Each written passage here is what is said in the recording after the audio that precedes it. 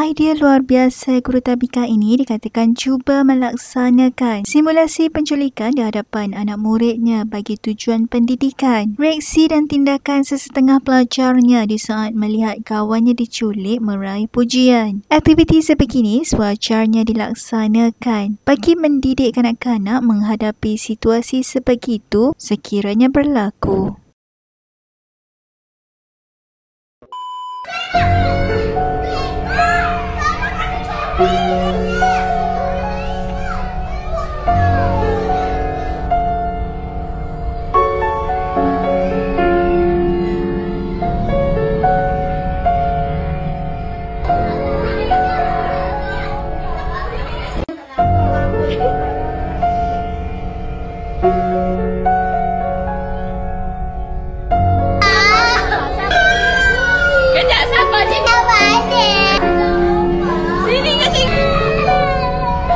把车